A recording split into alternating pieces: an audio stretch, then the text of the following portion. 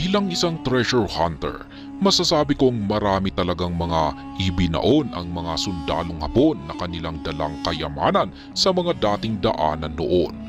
Kaya meron tayong isang dating pangulo noon ang nagka-interes na kunin ang mga ito.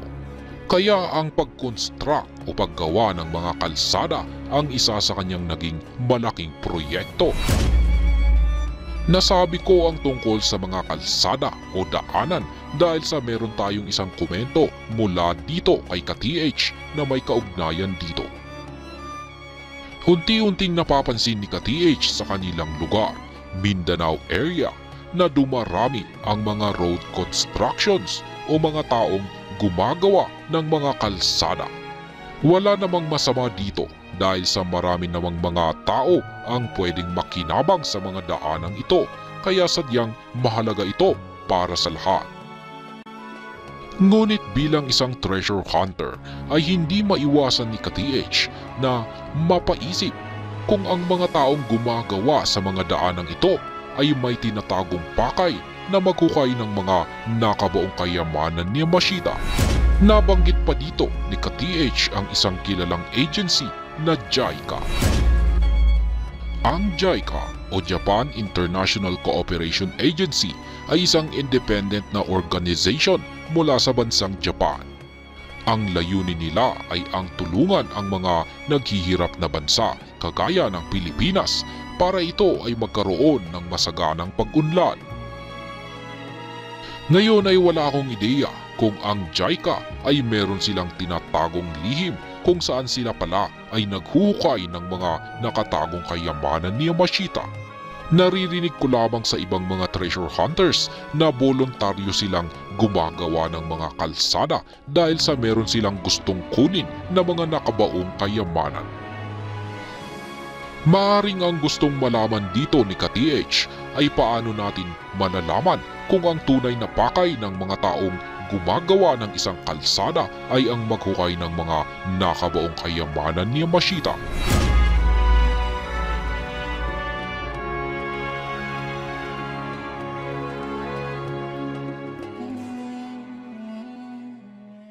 Mga walang silbi na kalsada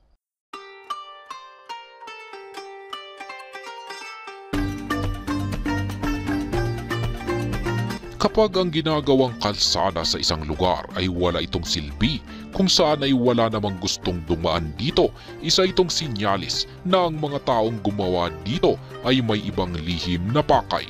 At yan ay walang iba kundi ang maghukay ng mga nakabaong kayamanan.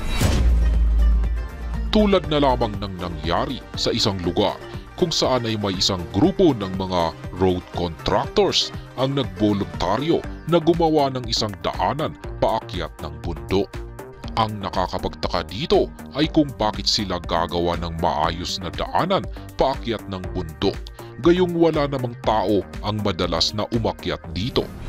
Maliban dito ay may ibang mga lugar na mas nangangailangan ng maayos na kalsada kung saan ay maraming tao ang mas makikinabang dito.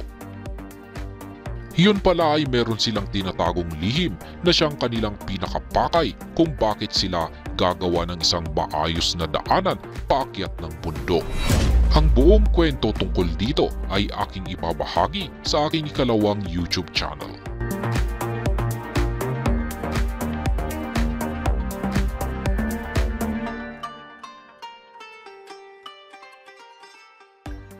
Maayos ang daanan pero babakbakin para muling ayusin.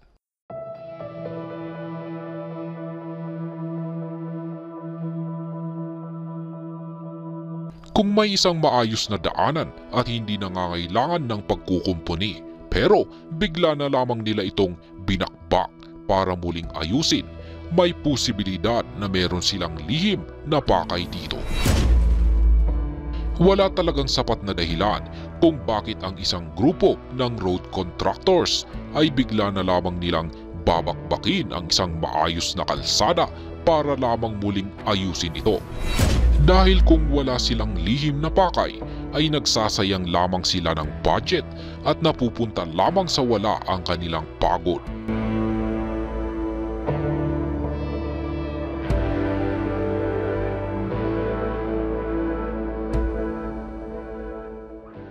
Hindi tinapos na daanan.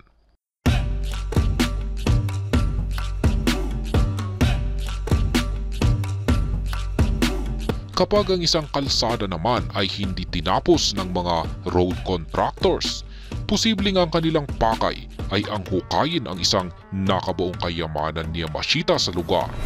At ang dahilan kung bakit sila biglang tumigil ay dahil sa nagawa nilang kunin ang kanilang tunay na pakay. Palusot lamang yung madalas nilang dahilan na sila ay nagkulang ng budget o pondo. Sa aking pagkakaalam, bago pa masimulan ang isang road construction na proyekto, meron ng nakalaan na budget hanggang sa matapos ito. Maliban na lamang siguro kung isa talaga itong napakalaking road construction project.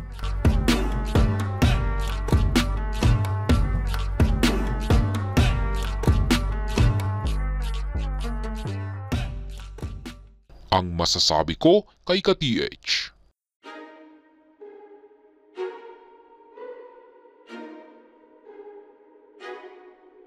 Mahirap talagang sabihin kung ang mga taong gumagawa ng daanan sa isang lugar ay may lihim na pakay kung saan ay ang maguhay ng mga nakabaong kayamanan ni Yamashita. Pero bilang isang treasure hunter, isa talaga itong epektibong estilo para ang mga treasure hunters ay lihitimong makapaghukay sa mga publikong lugar.